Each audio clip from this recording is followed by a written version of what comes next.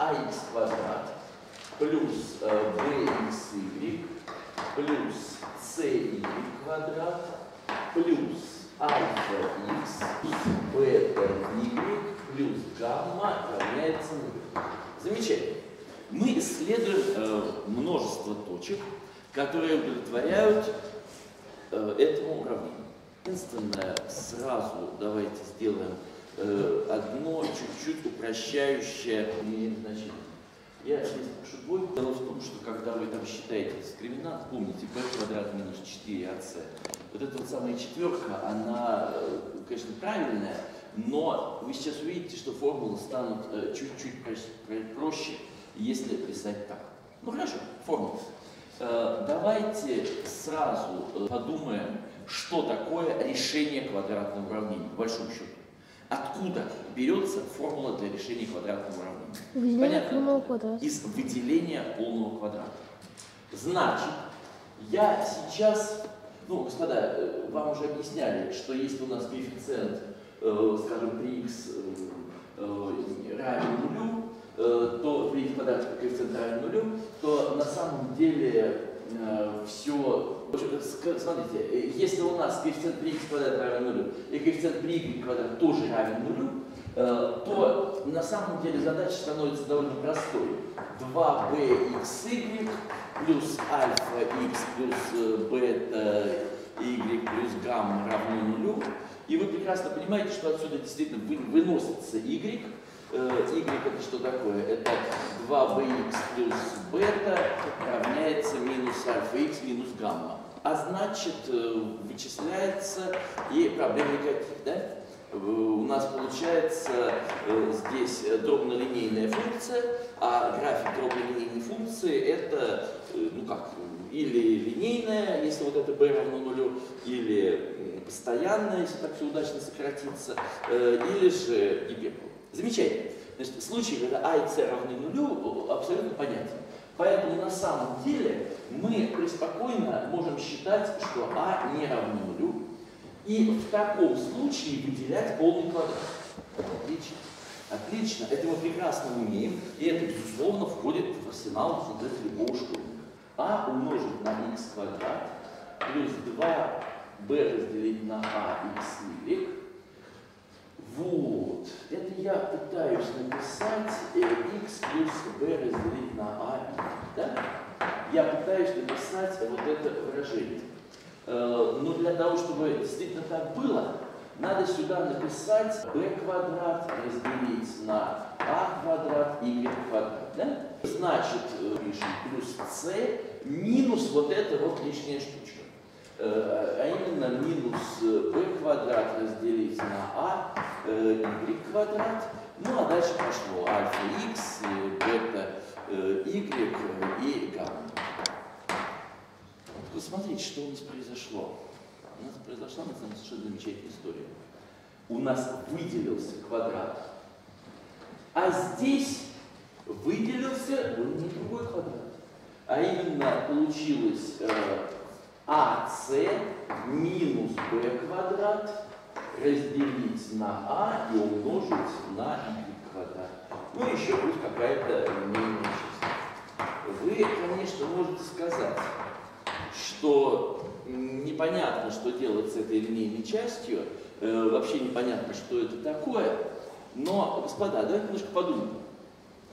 Если мы с вами обозначим x плюс b разделить на а новой x плюс э, b разделить на а, y это новая буква z, то уравнение вдруг приобретает не очень хитрый вид. Здесь az квадрат, здесь вот этот коэффициент остался, ac минус b квадрат разделить на а y ну и вот мешается линейная часть.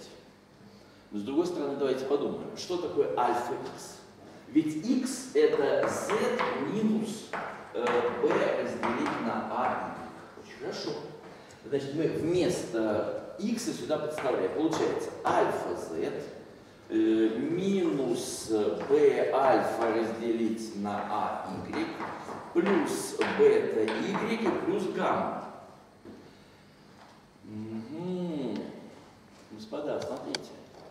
А ведь вот эта штука и вот эта штука, это же фактически почти квадратичный многочлен.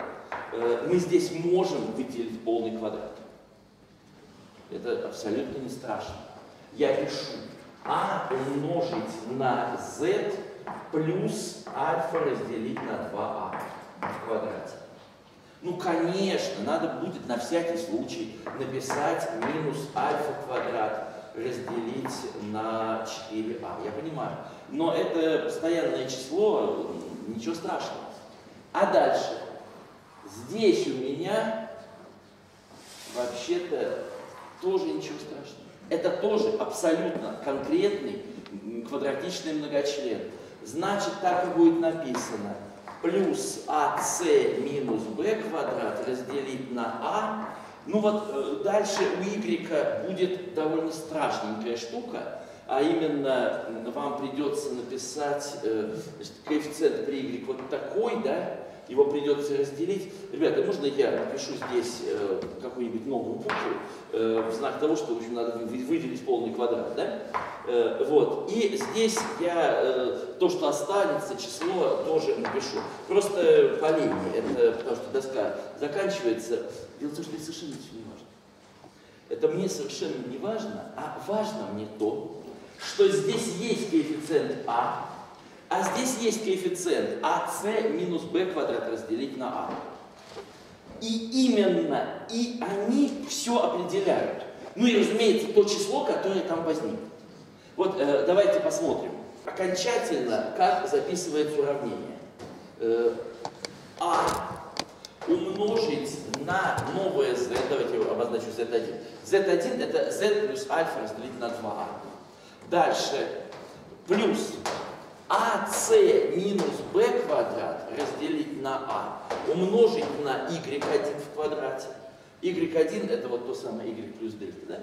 И это должно равняться некоторому числу. Ну, мы его обозначили эпсилон плюс альфа квадрат делить на 4а, неважно. Я мог, уж некое число. Господа, даже все зависит от знаков этих чисел. Если у нас, например, вот это число положительное, это число положительное, а это число отрицательное, значит пустое множество. Если у нас это число положительное, это число положительное, а это ноль, значит одна точка. И мы даже знаем какая. Если э, эти числа положительные и это положительное, то что? Эллипс, совершенно верно. И заметьте, пожалуйста, мы более или менее понимаем, какой эллипс. Э, единственное, в косых координатах. Вот здесь очень важно. Как э, вот такая вот штука, какое отображение дает на плоскости. Все понимают? У меня y осталось, а каждая x перекосилась. Если кто-то пользовался графическими редакторами, на самом деле там даже операция есть специальная. Не понимаете? Что происходит э, с плоскостью при этом? Смотрите, y везде остался. Это значит, что ордината у точки вот она одна и та же. А к каждому x прибавляется. На нулевом уровне все осталось. А чем, чем выше поднимаемся, тем нас сильнее перекашивает. Не поняли? Юг и... Вот давайте посмотрим. Отображение, которое... Вот давайте так, совсем простое отображение. Точки, точку с координатами x, y переходит э, в x плюс y, y. Можете вы понять, что это такое геометрическое? Как понять, что происходит с плоскостью при таком отображении? Понятно, наклоняется вправо. Э, ну, Смотрите. Верхняя часть вправо. 0,0 куда переходит? 0,0. На месте. Да. Вот эта точка с координатами 1, 0. На месте. Совершенно верно, тоже на месте. То есть на самом деле вся вот эта прямая, что? На месте. А точка с координатами 0, 1 куда переходит? Два, один. 0, 1. Один из В 1, 1. Эта точка переходит вот сюда. Ребята, смотрите, вот у меня был, э, представьте себе, у меня был вот такой вот квадратик. Его перекашивает вот в такой вот Представили? Между прочим, э, то, что такие преобразования важно понимать, очень хорошо демонстрировал Владимир Ильич Чернурт.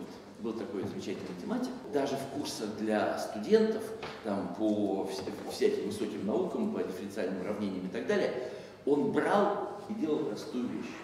Рисовал на одном чертеже пушку, а после этого здесь рисовал, соответственно, понятно, да? По пушку. Дело в том, что пока вы не поймете, как это действительно вот, э, такого типа преобразования устроено, шанс прогресса не будет. Так, ну давайте, э, контрольный вопрос. Куда перейдет, э, скажем, высотой 3 э, прямоугольник, шириной 1, высотой 3? Куда он перейдет? Прямоугольник. Он перейдет вот сюда. Да. Все понимают? И вот так вот его снесет. Вот. Ну ладно, на самом деле разговор не о том. А разговор о том, что все на самом деле зависит от знаков этих чисел. Между прочим, господа, вот это АС минус b квадрат, она в высшей степени важна. И это называется определитель э, соответствующей матрицы. Да? Вот. Замечательно.